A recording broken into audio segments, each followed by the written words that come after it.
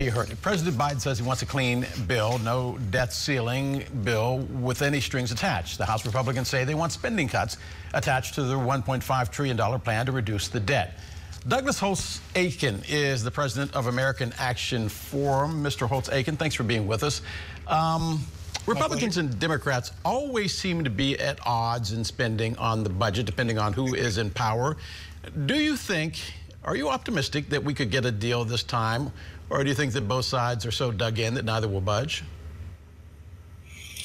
Well, we've seen both sides dug in before, um, most notably in 2011 when uh, ultimately they did budge, but it first took a fair amount of financial market volatility. Uh, we ultimately saw a downgrade in that episode.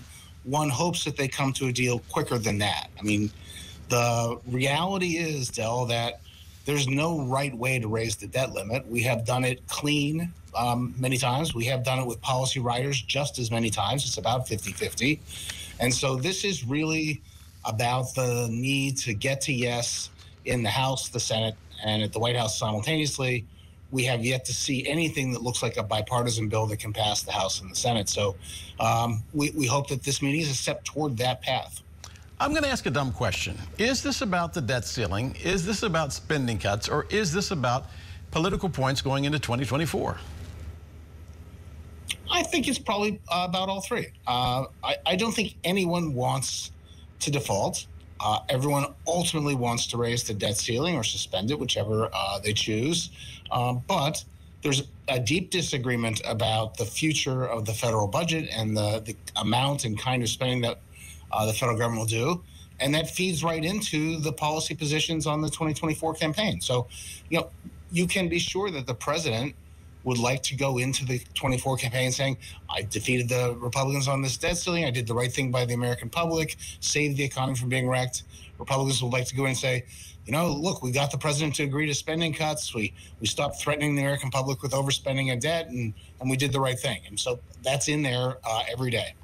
Um, I wanted to say to Nate that in Washington, both sides are usually hiding the truth somewhere in the middle of their arguments, but that would be editorial, so I won't do that. But that being the case, the Republican plan calls for a rollback to 2022. It sounds good on paper. What's wrong with that? Uh, at 2022 levels will be dramatically lower. I mean, there's no question we haven't seen discretionary spending go back uh, in that way. Uh, but that, you know, fiscal 2022 is not that long ago. I mean, we're talking about something that was in September of last year. And so if you could live with it in September of last year, couldn't you live with it uh, uh, this year? That's the basic argument the Republicans have. It's just not something the federal government typically does. Uh, it usually raises discretionary spending, if only by uh, the amount of inflation. So uh, this isn't a right or wrong situation. This is what would I prefer?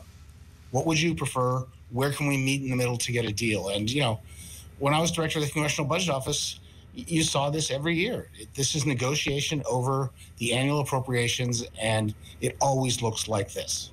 I almost said, Pshaw, it sounds like you're saying that this has happened before in Washington, but I wouldn't be that cynical. I do have a question, though, on the issue of the Democratic plan, which basically says that they want to hold on to the COVID monies. Why is that such a non starter for Democrats? Uh, the COVID money is uh, an important piece of uh, funding, especially for state and local governments.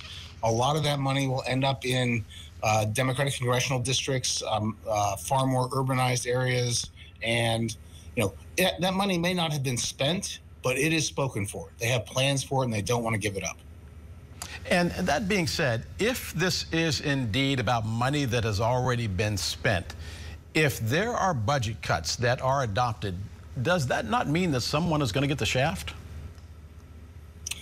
It depends how these uh, cuts get get done. I it, it's easy for me to imagine that they would put in place caps on future appropriations 2024 25 26 27 we've done that before adhering to those caps is often hard but there's no immediate uh, budget cut and no one sees an immediate yanking of their funding the, reality uh, for the, the american public is that they they have put off limits most of the federal spending you know, 70% of federal spending is entitlements.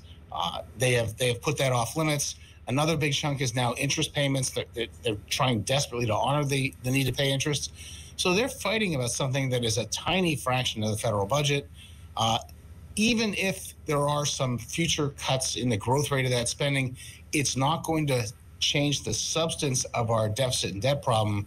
That's going to await a, a different agreement on another day. So this is really more symbolic than, than genuinely fixing the federal budget problem. I think you probably did the best of explaining both sides of this argument than I've heard in a long time. Douglas Holtz Eakin, the president of American Action Forum. Mr. Holtz Eakin, thanks for being with us.